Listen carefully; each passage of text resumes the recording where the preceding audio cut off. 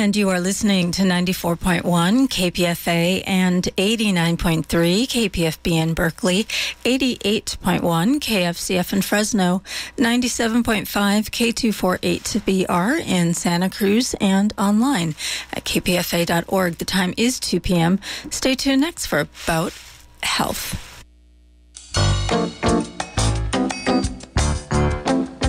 See.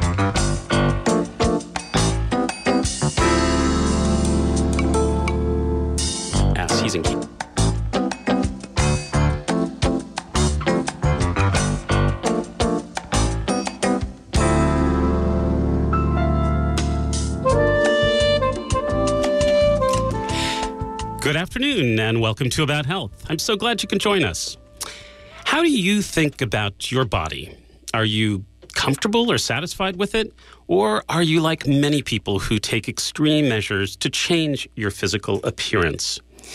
If you're not satisfied with your body or your physical appearance, you're certainly not alone. In fact, one national survey found that well over one half of adult women and men reported being dissatisfied with their physical appearance.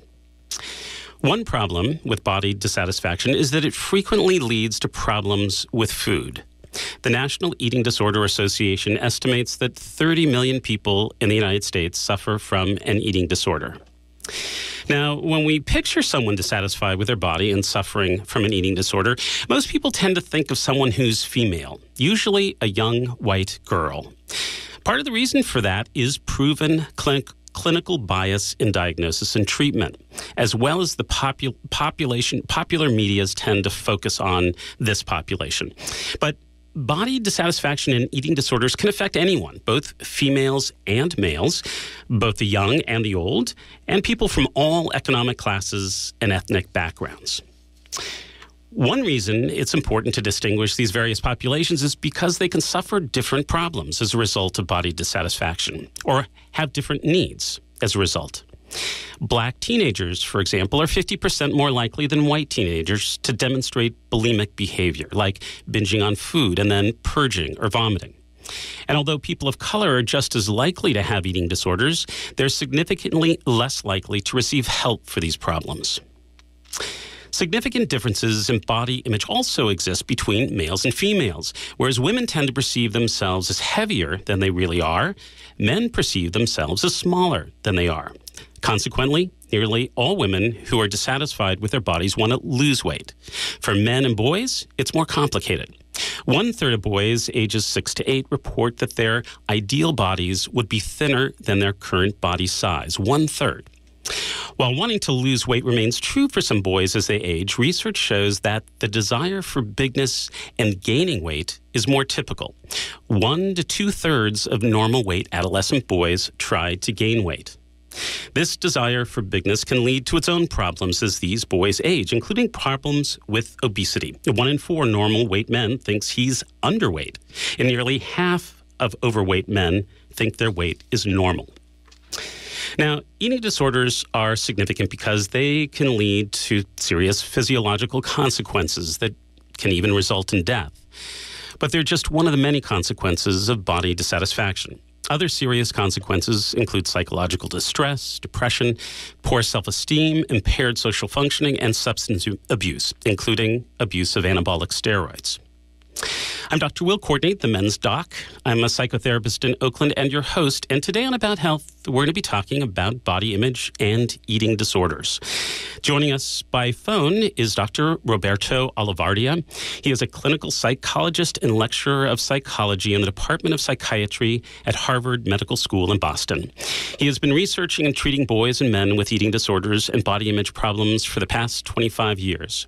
He is co author of The Adonis Complex the first book of its kind, which details the various manifestations and consequences of body image problems in males.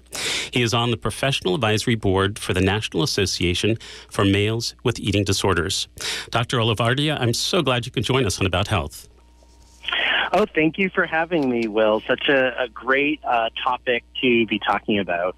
Well, and we're going to look forward to talking with you, and I'm so glad you are with us.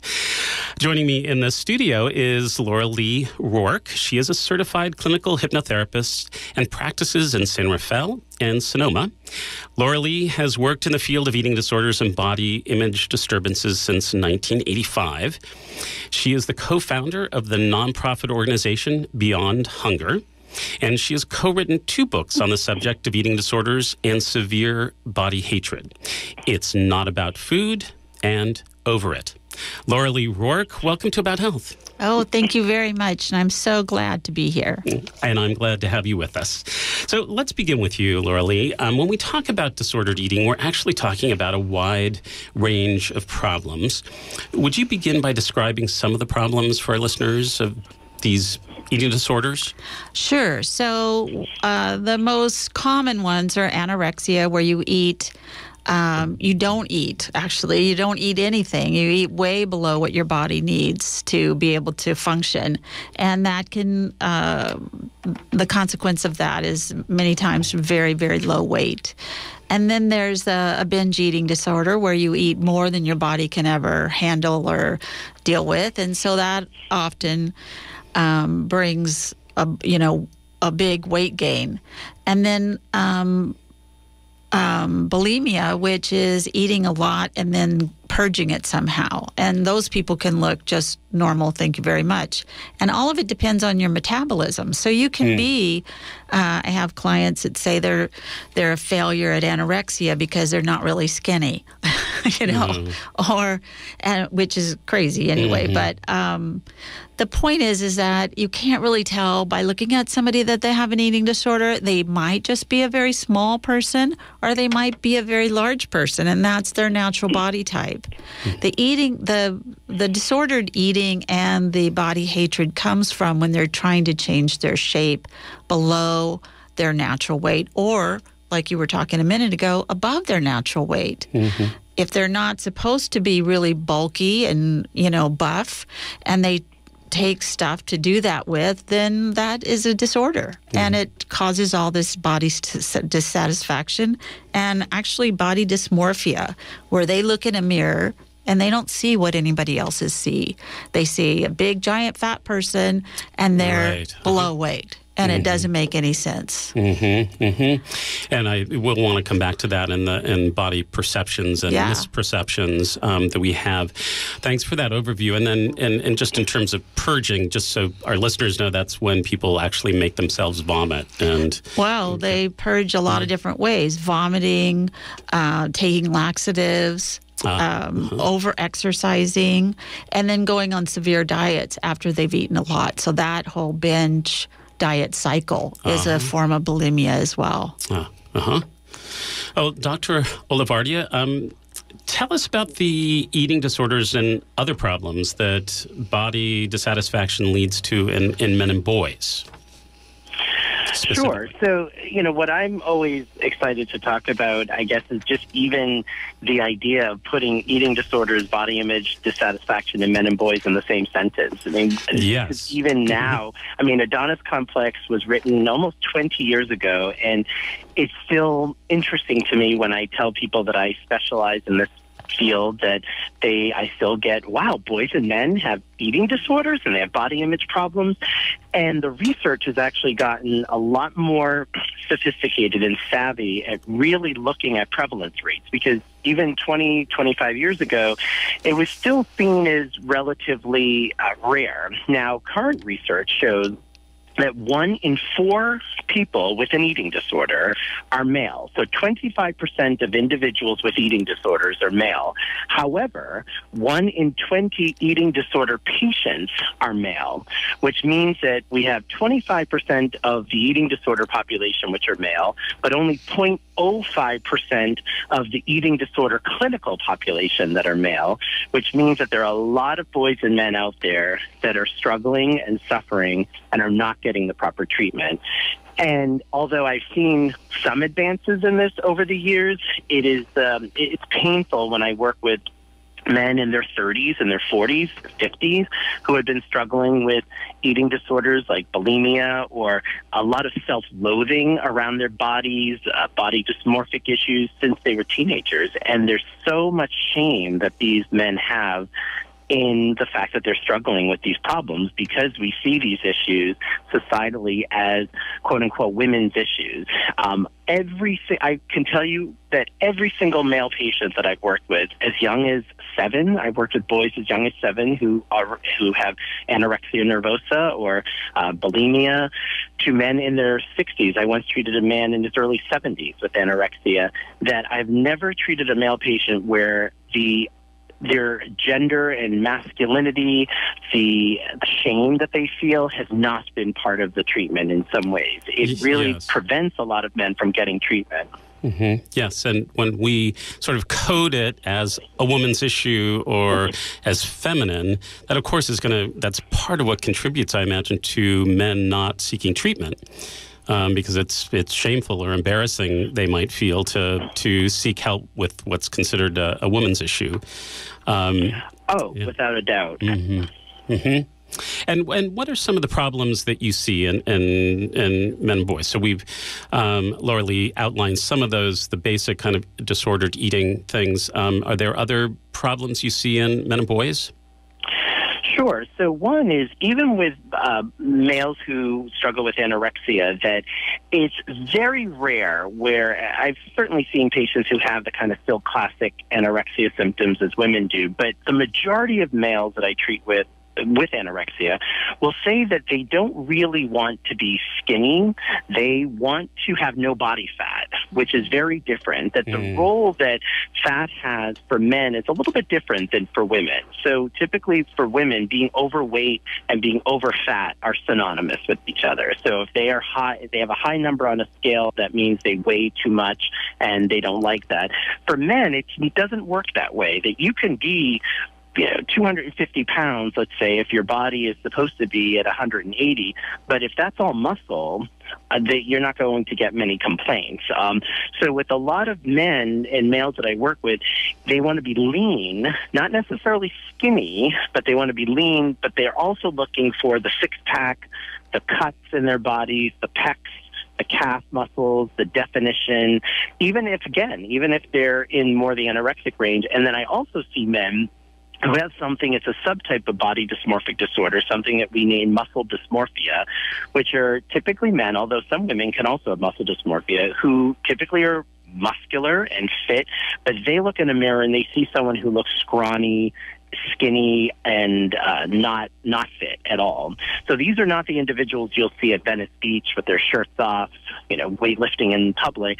These are men who actually feel such shame they will cover up their bodies, despite people around them saying, "What are you talking about? You're very big and muscular," but they don't see it that way. Um, so, and then from that, 50% of these individuals also use anabolic steroids. And then you have steroids that are also used by a whole host of other um, males. Um, it's young as even in the high school level now. And years ago, the primary factor for predicting steroid use was for performance enhancement in sports. Now, however, the primary factor is body image dissatisfaction. So mm-hmm. males are using steroids more for aesthetic reasons today than for, for, for performance enhancement. Mm-hmm.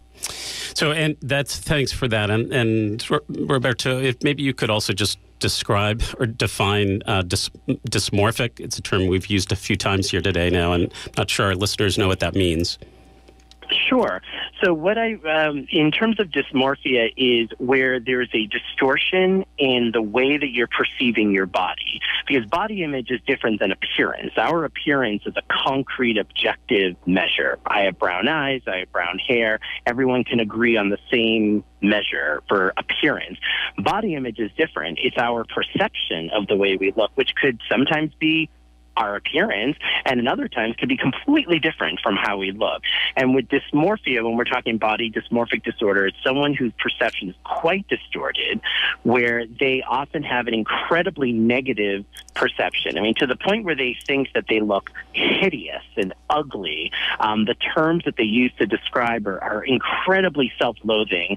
Um, and then with that dysmorphia is often a lot of obsessive thinking and a lot of compulsive behaviors to try to remedy what they see as a major deformity or flaw mm. in their appearance, mm. and often is coupled with a lot of avoidance behavior. Mm.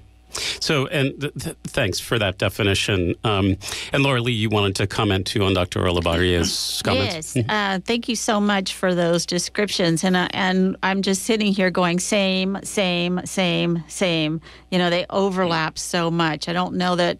I mean, I do know that there's specific things that women kind of do or have or think about, and men do or or have or think about. But the pressure on girls and women right now to have this still very flat stomach and it should be cut it should have you should be able to see those muscles underneath and the cut arms mm-hmm. and the calves and then they need a big booty they've got to have the booty and that doesn't always go with all the rest of it mm-hmm. or bigger breasts you know so mm-hmm. if you mm-hmm. can't get it um, by dieting, then there's always surgery. And uh, we see girls trying, or women trying to be something that they're never going to be. They don't have the muscle mass, they don't have that type of body. And so they'll go buy it, you know, and it's very, very disturbing. So, and, you know, we always have diet pills in this culture. Even if they say that they're not diet pills, they are. And look at what happens with that kind of thing. Mm-hmm. Absolutely. Well, well, if you're just joining us, uh, you're listening to About Health. I'm Dr. Will Courtenay, your host. Today we're talking about body dissatisfaction and eating disorders. Joining us by phone is Dr. Roberto Olivardia, a clinical psychologist and lecturer of psychology in the Department of Psychiatry at Harvard Medical School and co author of The Adonis Complex. Also joining me in the studio is Laurelee Roark. She's a certified clinical hypnotherapist and co founder of Beyond Hunger and the co author of the books It's Not About Food and Over It. I invite you to join the conversation. Our toll free number is 1 800 958 9008. That's 1 800 958 9008. Um, you can also email me directly. A lot of you folks have been in, doing that, and it seems like a good way to reach me with your questions or comments, and that's at drwill at kpfa.org. That's D R W I L L at kpfa.org. If you're one of the majority of Americans who are dissatisfied with your body, we'd like to hear from you. What do you need help with? Are you struggling with food? And although body dissatisfaction is often related to eating disorders, it's not always. Perhaps you're one of those people who's dissatisfied with your body and you're exercising too much or you're feeling depressed. We'd love to hear from you. Give us a call again at 1 800 958 9008. And we'll be taking your calls shortly. Um, uh, Dr. Olivardia, maybe you can tell us about some of the, the mental health consequences that we see as a result of body dissatisfaction and um, eating disorders. Sure. That I would say, you know, when I think of the, the major collateral damage of, of struggling with these problems, so one, of course, are the health effects that uh, 15% of people with eating disorders die um, because of either complications due to uh, starvation, but and that also includes people with bulimia nervosa as well. Um, vomiting and laxative use can uh, cause a lot of irreparable damage to the heart. Um, I've worked with college students who have had cardiac arrest episodes because of their eating disorder. Um, and a number of people with eating disorders die by suicide because it is such a tormenting uh, mm. uh, disorder to deal with. Mm-hmm. Um, and I've worked with many patients who are recovering addicts, drug or alcohol um, addicts, and have also had an eating disorder. And I have a number of them over the years. And uh, and we know how impressive it is to maintain sobriety when you struggle with an addiction. All of these patients will say, as difficult as the drug or alcohol addiction was to become sober, that an eating disorder is a whole other animal because you have to eat. Like you can't abstain from food. Right. Um, you can't, you know, avoid people who eat. You can't. You have to manage and regulate. So there are the health complications. But then psychologically, what eating disorders do is they place to, to an individual, it's never really about food and weight. Ultimately, it's around what people think they're going to get by having the quote unquote perfect or ideal body. So what I hear a lot from people are, I can't ask for that promotion at, the, at my job until I look a certain way, until I lose 10 pounds, until I gain this. I can't ask this girl out.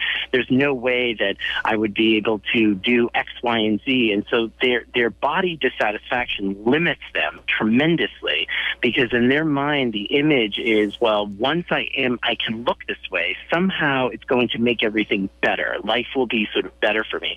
And the truth is, uh, it's actually not. It's so much worse. The studies actually show as people lose weight, in the case of anorexia, they get more and more unhappy with their bodies. Men I treat who do anabolic steroids, they don't become happier as they gain more and more muscle.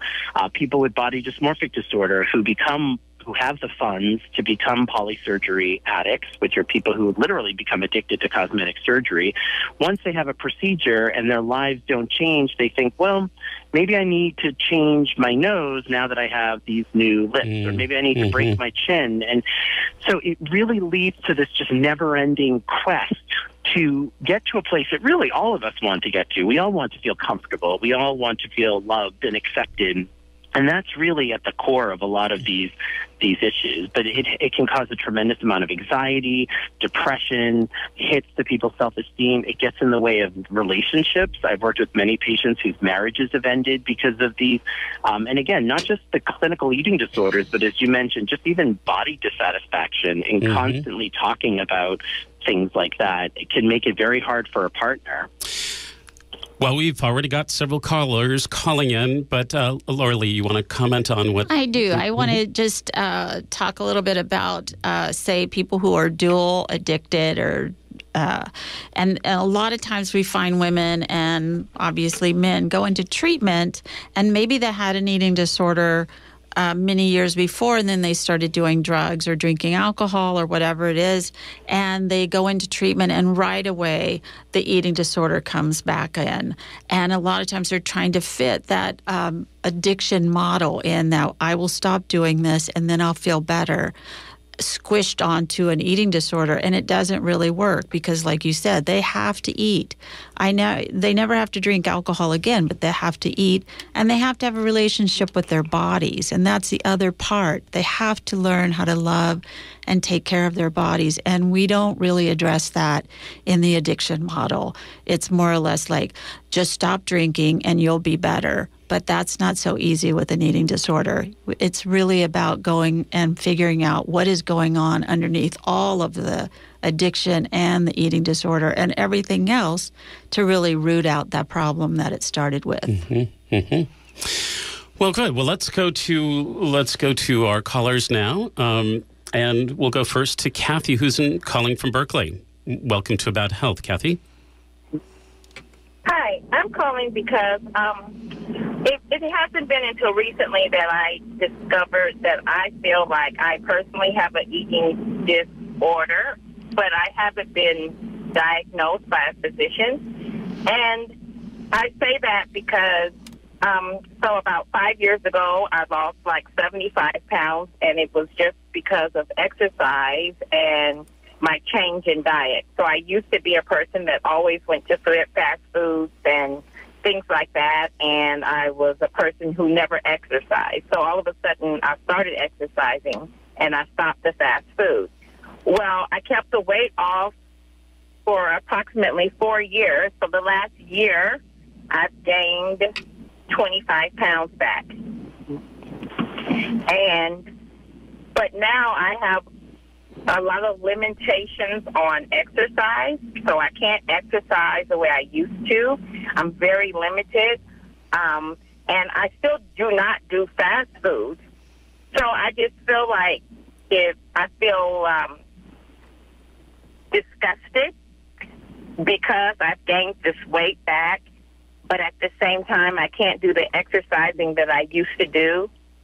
Um, I don't eat fast food still so I just feel like um, the the little exercise that I because I can't exercise like I used to, I'm always saying, well, if this was if this was not wrong with me anymore, or if I could, if my knees weren't bad, or if my hip wasn't so bad, if this, if that, I could exercise, um, you know, and then I do this binge eating in the depression of being stuck on whether or not, you know, if I could exercise anymore. And I just feel stuck. I don't know.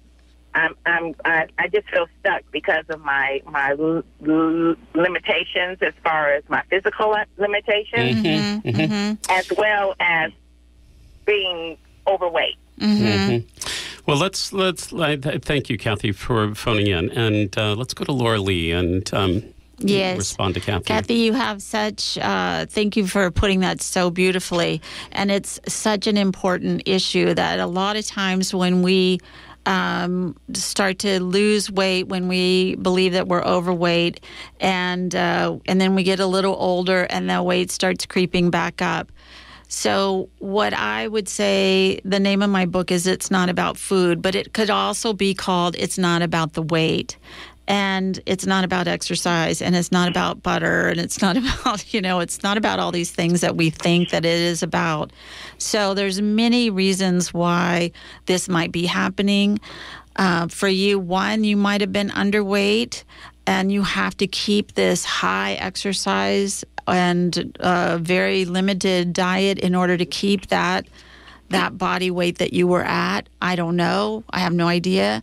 But we all have a weight that we a weight range that we kind of fit into.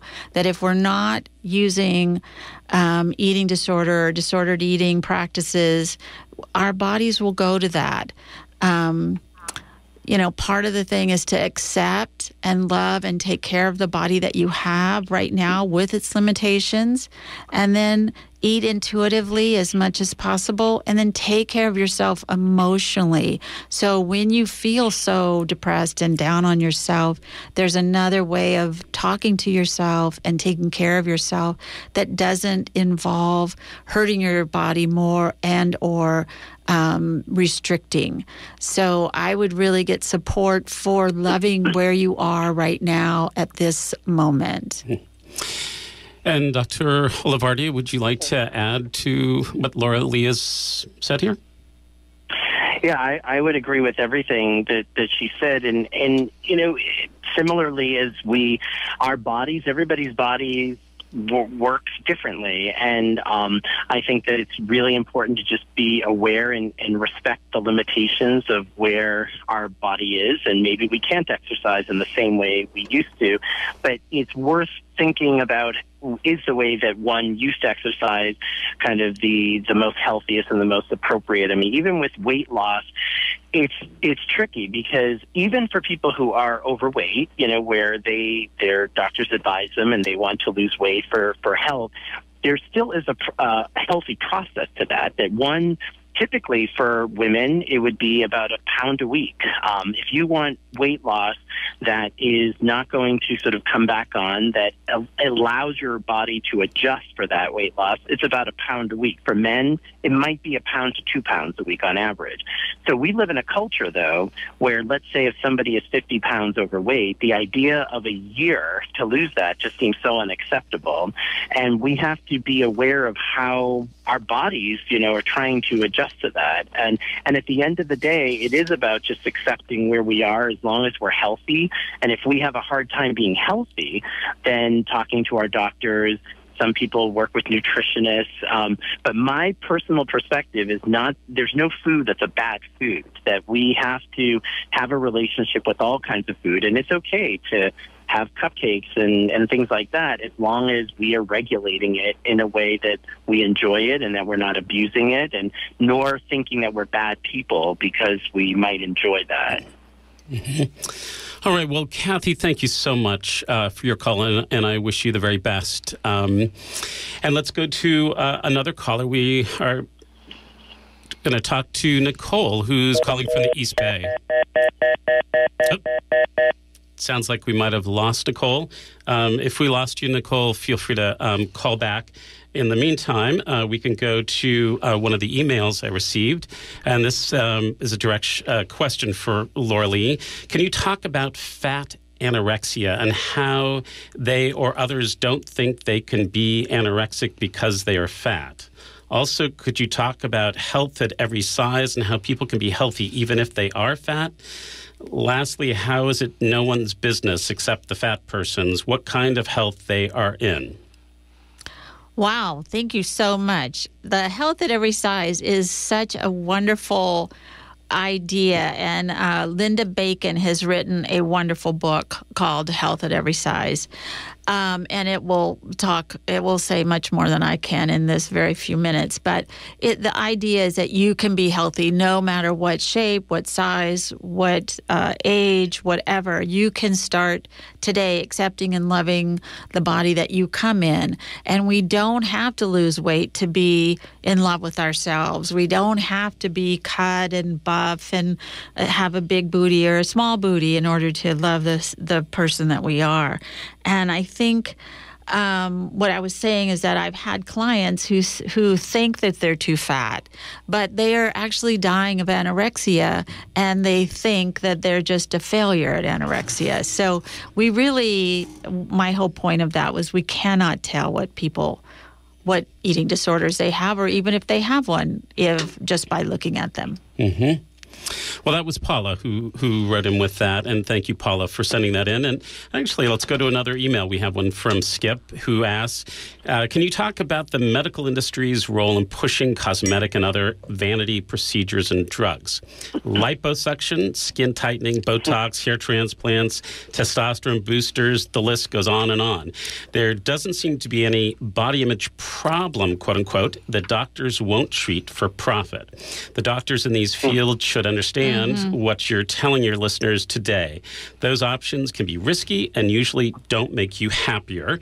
Thank you, Skip, for that. And I'll just add to that that we know that at least one in four men now says he'd consider cosmetic surgery, and um, another one in five says he might. Roberto, did you want to speak to that? Oh, definitely. I mean, I I work with many patients who um, have abused and uh, have caused actually pretty significant disfigurement to their body due to multiple cosmetic surgeries. Um, a male patient I worked with a couple of years ago who got calf muscle implants. There, uh, there is such thing as calf Ugh, implants, and really? got a yep, and he got a severe infection that mm. almost resulted in the amputation of his leg. Um, it is it is a booming, booming business. I mean, just as in the 90s in particular, if we're talking about men in particular, in 1992, about 6,000 men had liposuction, according to the American Society for Plastic and Reconstructive Surgery. In the, uh, those early 90s, they rolled out all this advertising to say, hey, plastic surgery is not just for women only. Men, you can look at it too. Women are evaluating you too, men. And just five years later, in 1997, the rate of liposuction was about 25,000 men getting liposuction. So it quadrupled in about a five year period because of very significant advertising that the industry said, hey, why are we only targeting half of the population mm. to hate their bodies and feel that they can improve? It is, it is it, it, has very far reaches. I mean, even in terms of advertising, um, and it's important. I just did a talk at a college campus where I talked about how to be mindful of the media that we take in, everything mm-hmm. from. Mm-hmm you know, just pure ads to cosmetic surgery because it all feeds into that in mm-hmm. some ways. If you look yes. at an advertisement that's obviously been photoshopped, mm-hmm. you then are now presented with this ideal image.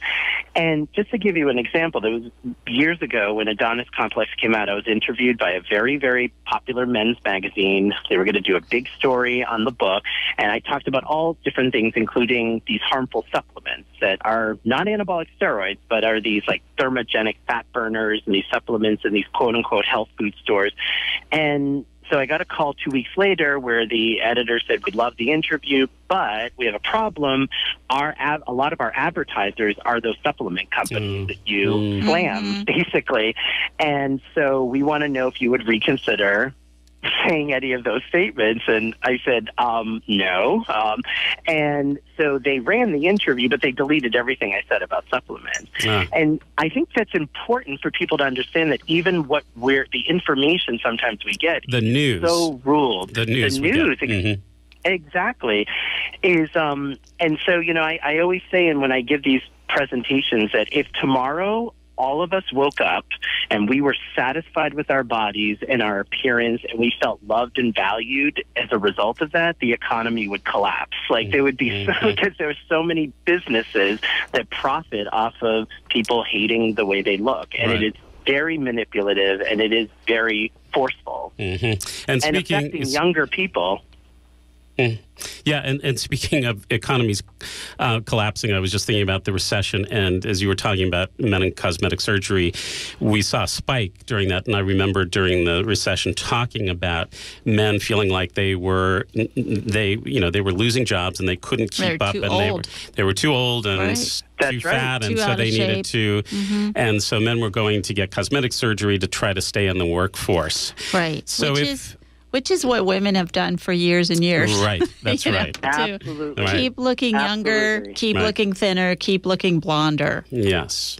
Well, That's if right. you're just tuning in, um, you're listening to About Health on KPFA, and I'm Dr. Will Courtenay, your host, and we try to have true news here that you can really trust at KPFA.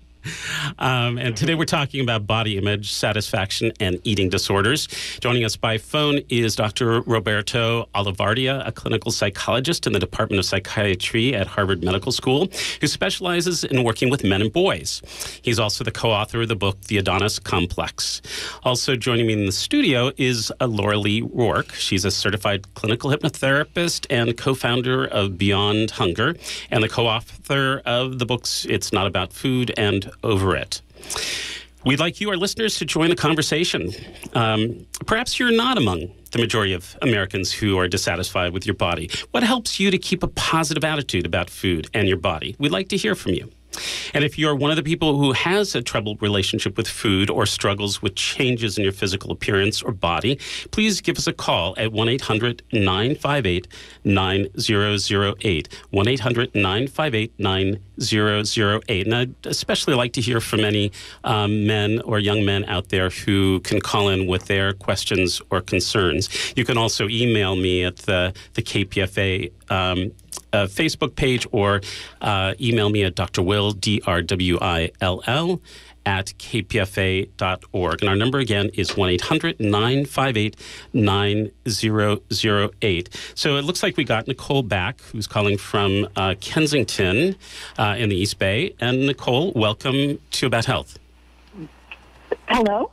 Hello. Can you hear me? We can, and you are on, on the air. Okay. Hi.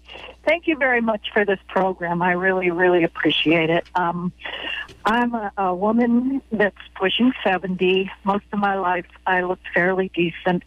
But as I got older, um, I had to give up alcohol, and I am a member of AA.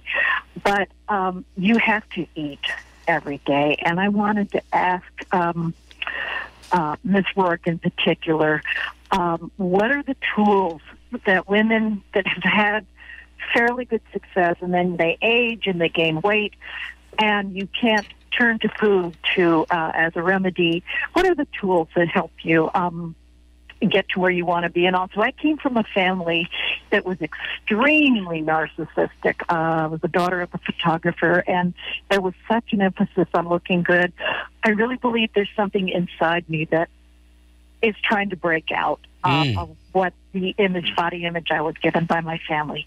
I'll get off the air to hear my answer. Thank you. Oh, thank you, Nicole. I, I so appreciate you calling, and that, um, and I wish you well with breaking out of that. And let's let's go to Laurelee with that. Yeah, thank you so much, Nicole. Um, to me, uh, I always go back to the hippies were right. It's all about love. It's loving yourself unconditionally, which is for so many of us was not our childhood. We didn't get loved unconditionally. And even if we did, if you walk outside and you look at TV or the billboards or the movies or just read our books and listen to our music, we're not okay the way that we are. And it is a multi-billion dollar industry the beauty industry and the diet industry. So we're going up against a lot of pushback from people with very deep pockets.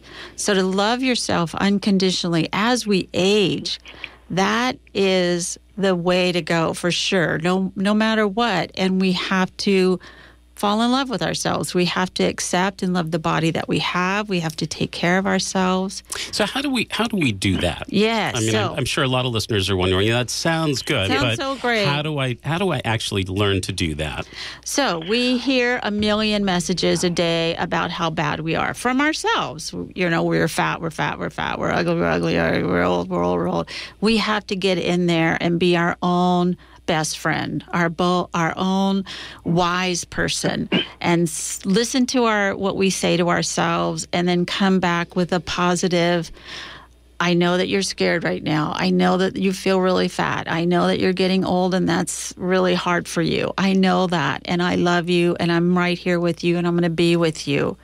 Um, I really feel like all parts of an eating disorder, all parts, are the ways that we take care of ourselves. So, in a weird way, when we call ourselves fat, it makes us feel more secure because we know how to feel fat. We don't know how to feel lonely or scared or afraid of where the rent is going to come from or are we going to war with Korea. You know, we but we do all know how to feel old and fat and stupid and yucky because we are told that for a lot of our lives. Mm-hmm. So, in a weird way, it's how we've taken care of ourselves. So we learn how to take care of ourselves another way, and it starts with us, you know, the man in the mirror. It starts mm. with us loving us. And Roberto, it sounded like you might want to jump in here too with any suggestions about how we can love ourselves or love our bodies.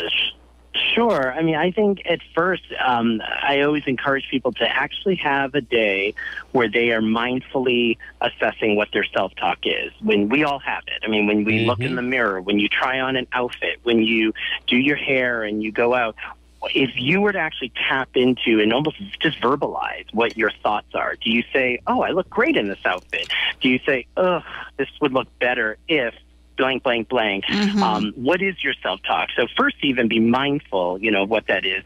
Another thing I talk, and this is even for young people I work with, is really understanding, you know, that ultimately we're trying to execute certain values in life, being happy, being healthy, being connected, and um, there's there's this book. I don't remember the name of it off the top of my head, but it was written by a hospice nurse who basically has been, uh, as part of her job, has been with people literally at the moment of their death, you know, on their deathbed. And through talking with them, she wrote this book of what do people talk about literally in the last days of their lives.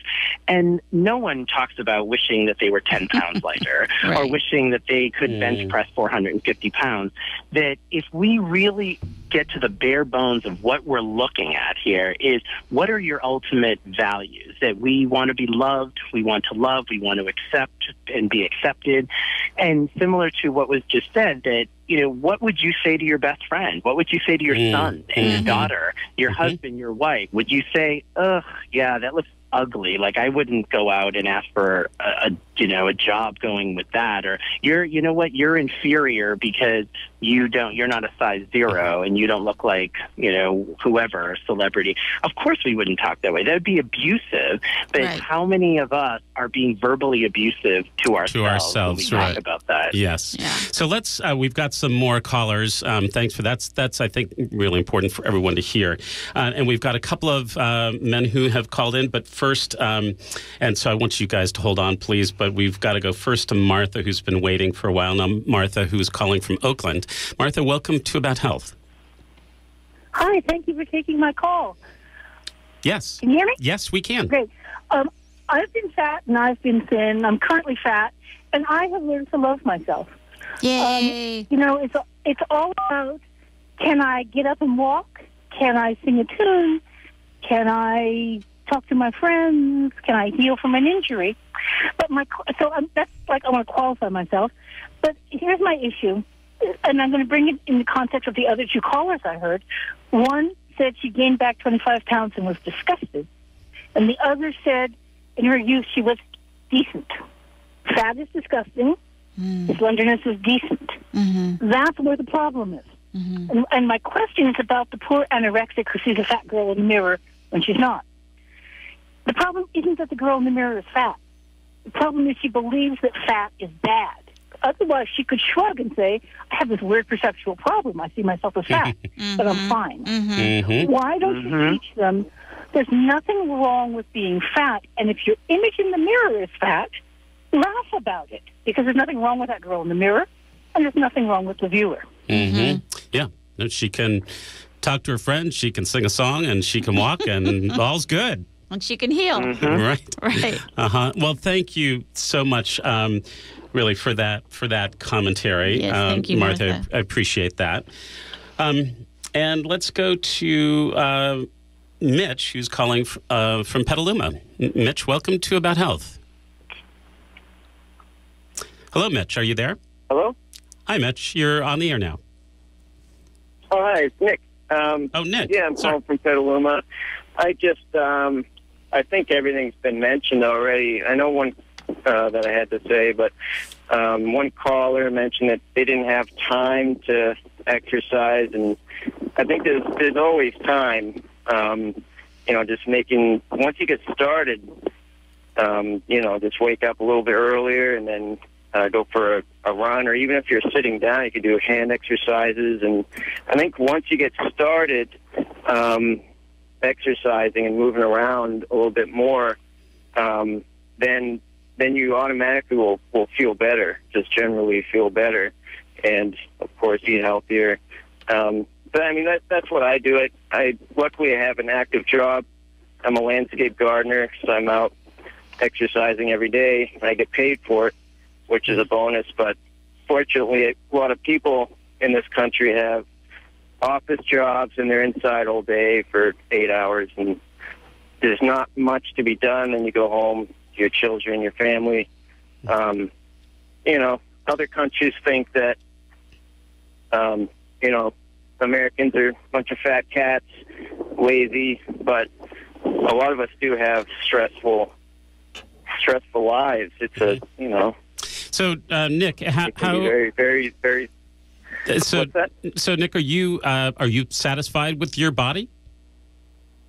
I am. Oh, I am, and uh-huh. I and I think that's uh, that's the reason I I'm out I'm out and about, and like I said, um, I'm lucky that I have a job that I'm I'm just active every day, moving around, and I believe that that that helps me feel better about myself. Uh-huh. It's just uh, and if if you don't exercise and start eating healthy, it's just a vicious circle. Um, and you start feeling lousy and lousy about yourself and lousy about life. Right. Um, so just ma- making the time, even when I'm, you know, sitting down and, and doing book work for my business, is I try to stretch, you know, stretch my hands and Mm-hmm. and, and do something active. Well, Nick, Um, Nick, thanks, you know? thanks, thank you for your call, and um, I'm I'm glad you are feeling good about your body, and and also um, I you know I think that just like as Martha was saying earlier, you know, just I think walking does feel really good, doesn't it? It does. We can. Um, it's something you know. You know. Hopefully, most of us are able to do, and, and when we could do it, it just the movement feels good. Um, um, being in our bodies in that way. So thanks for the call, and let's go to David, who's calling us from Berkeley. Uh, welcome to About Health, David. Hello, David. Are you with us? David, you are on the air. Sounds like you might be there, but we don't have you. Okay, so let's go. Um, let's see if, David, if you're listening, if you want to call back, um, it seems like we lost you. It'd be good to hear from you. Uh, let's uh, talk to Eve, who's calling us from Oakland. Eve, welcome to About Health. Hi, um, hi there. Hi there. I um, hi. I I've had a lot of uh, a troubled history with food and my body image, and particularly when I was younger. Now I'm 51. I'm through being in a lot of different, from Overeaters Anonymous to therapy to reading lots of books to sort of the body positive movement. I have a much healthier relationship with food in my body than when I was younger. And I wanted to say that I came across this a video on YouTube. It was a it was a TED talk by a woman named Lindsay Kite, and it was um, called Body Positivity or Body Obsession.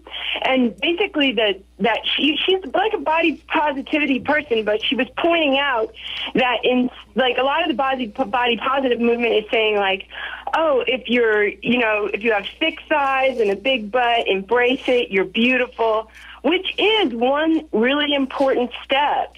But it's also really important for um, women and men, um, and but particularly women, to really get out of having to even talk about beauty. You know, our bodies uh, they they help us walk. They they they you know are processing food. They're digesting. They're they're thinking. Our brains are thinking. Our bodies are ourselves and I think like instead of saying like, oh, embrace your big butt, it's beautiful, although that is a great level to come to, but I think it's even it's really important to stress to young people and young women to say, you know, your body is a miracle and it does so mm. much for you and can we stop reducing it to the surface level of appearance? Mm-hmm. Those are those are all really wonderful comments. Um, I wonderful. really appreciate that, Eve. Um, and and Laurelee and Roberto, do you want to comment on that? You want yeah, just really really quickly. I just love what you just said. It's so fabulous. Sounds like you've really done a lot of work on that. Uh, I really feel like if we put as much attention on our self esteem and what our worth really is instead of what we look like, that is the place to go. We can spend thousands and millions of dollars on how we look, but really it is an inside job. Mm-hmm. Absolutely. I, I would agree that was a fantastic call, Eve. And one of the things that I work at in treatment for the, the men and women I work with with eating disorders is really developing that kind of philosophy of the body. The body is an amazing thing. I mean, it can really recover and heal from a lot that has been, it can take a beating. It can only take so much of a beating, but it can still, but an, a, a thing I would add to the list is, you know, the body is for women is what gives birth. I mean, to I mean the miracle of even that, of even being able to create life in these ways. Um, but that is a huge part of recovery for a lot of the patients I work with is how to look at their bodies in that way. The ability to see and hear music and mm-hmm. and taste certain kinds of foods. Mm-hmm. All of that is super important. Mm-hmm. Mm-hmm. Yeah, and, and, a number of callers have made that made sort of similar references in that. So I'm glad to hear that so um, beautifully sort of articulated by Eve. And Eve, again, thank you for your call. I really appreciate it. Um, let's go to Avery, who's calling us from Antioch. Avery, welcome to Bad Health. Hi, what a delightful program. I'm always glad when, when there's a lot of good discussion about this. And uh, I've never uh, really wanted to change my body. I'm I have embraced myself as elfish because I'm not technically a little person, but I don't have the body size that's usually like uh, described by the Adonis complex. Hmm. And uh, from a very young age, I also got laid on top of this that I didn't really want to restrict myself to girls who were shorter or skinnier than I was.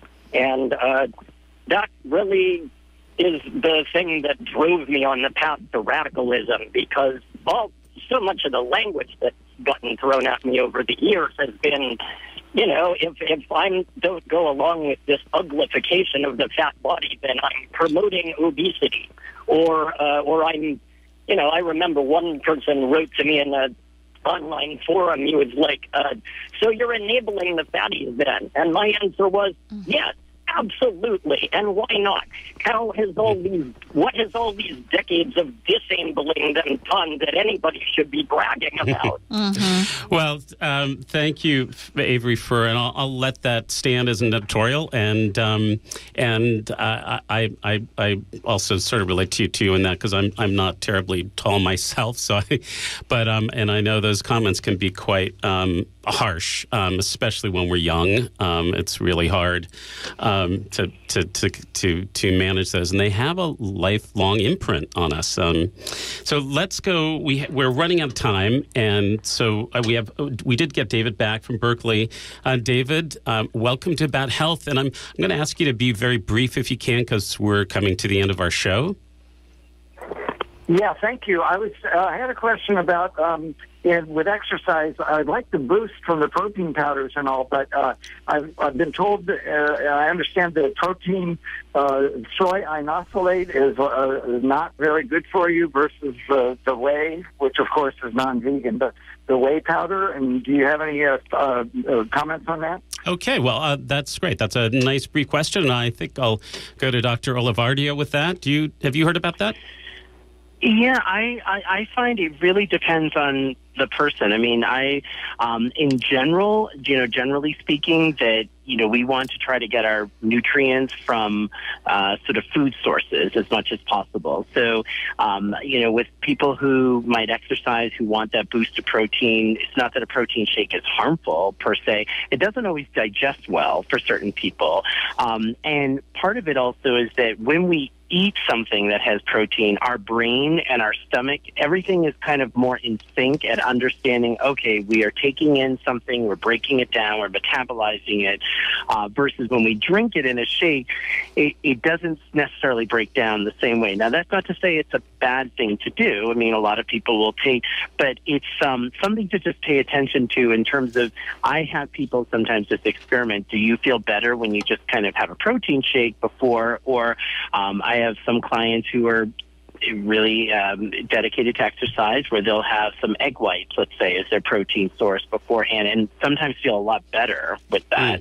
Mm-hmm. Um, so it's just something to be. So if we're just talking, you know, the typical like whey protein powders and things like that, um, then it really depends. Some people don't digest that very well, though. Mm-hmm. Well, see a nutritionist. Oh, uh-huh, that's yeah. good advice. Yeah, yeah. So, um, and that was uh, Dr. Roberto Olivardia, clinical psychologist in the Department of Psychiatry at Harvard Medical School, and author, co-author of the Adonis Complex. And um, uh, thanks for that, uh, Roberto. And I'm afraid we have come to the end of our show today. And if you'd like more information about um, the National Association for Males with Eating Disorders um, that um, I mentioned earlier that uh, Dr. Olivardia is connected to, um, you can go to their website, which is namedinc.org.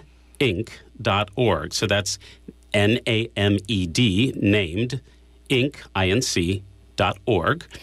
Um, and for more on the subject, you can also read Dr. Olivardia's book, The Adonis Complex. And for more information about Laurelee Roark, you can go to her website at laureleeroark.com. So that's L A U R E L E E R O A R K dot com.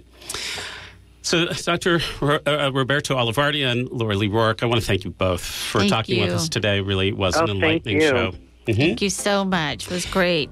And thank you, our listeners, for joining us, especially those of you who called in and emailed. Um, thanks also to our board operator, Erica Bridgman. If you want to hear any of today's program that you missed, or you want to go back and listen to Eve again and her wonderful comments, um, you can do that um, on the website at kpfa.org, where you'll find all of the podcasts at the About Health page. And if you have suggestions for future shows or guests you'd like to hear on About Health, please contact me at Dr. Will at kpfa.org.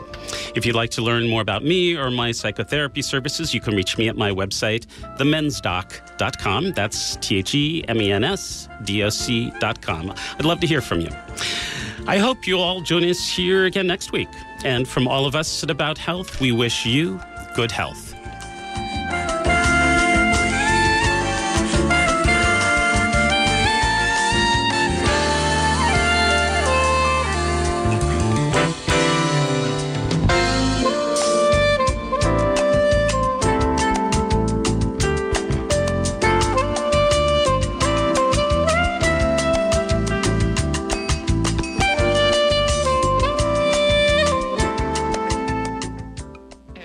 Caroline Casey, weaver of context for the Visionary Activist Show, a show that aspires to wed spiritual magic and conscious, compassionate social activism.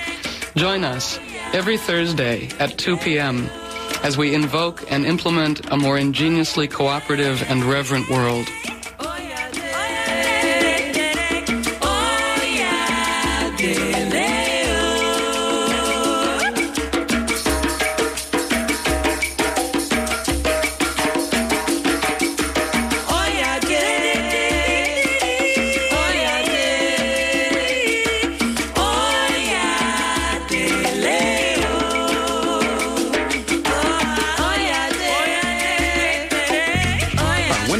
Over. On behalf of the entire staff of KPFA, I want to thank you for your generous support. Even though we fell short of our goal, we kept our part of the bargain and ended on time. If you're one of our listeners that intended to pledge or become a member, please go online at kpfa.org right now. Our thank you gifts are still available and make a donation. Remember, you are essential in keeping KPFA on the air. Do your part and donate today at kpfa.org. Thank you. Radioactive resistance is a benefit for KPFA Radio and DACA support services, featuring multi Grammy Award winner Arturo O'Farrell and the Afro Latin Jazz Orchestra, the Bobby Cespedes Band, and the Sonar Ocho All Stars, plus special guests, Saturday, May 12, 7.30 p.m. at the UC Theater, 2036 University Avenue in Berkeley. For more information, visit theuctheater.org. Support listener-sponsored radio KPFA. See you there. And you are listening to 94.1 KPFA